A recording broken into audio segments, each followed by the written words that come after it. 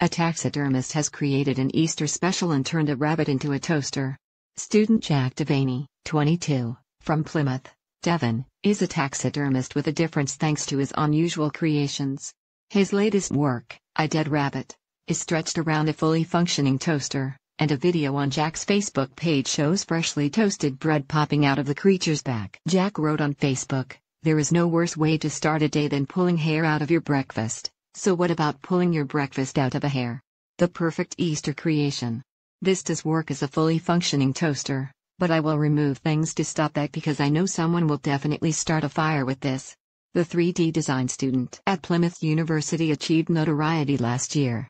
His work went viral after Jack posted photos of a pencil case he made out of a dead rat on the image sharing site Imgur. Speaking at the time, he said, They are most popular in America, but I also sold them in Norway. I think it's great that I've managed to sell some.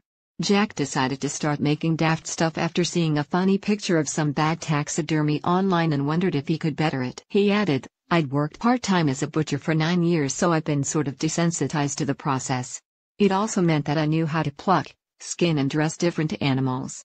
With his already honed skills in butchery, Jack just needed to source the creatures themselves. He said, I used to have a snake when I was younger and I knew that you could buy frozen mice, rats and chicks from different pet stores. I get them from pest control and estate managers. I basically posted on Facebook asking for help and I had people getting back to me within 10 minutes. My last order cost about 25 pounds for 4 moles and 3 squirrels.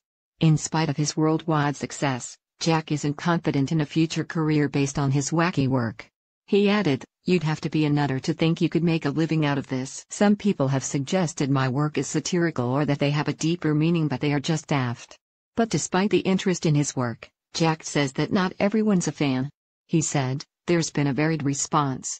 The average posts range from this guy is a nut job to where can I get one, but I'm always polite when I'm responding.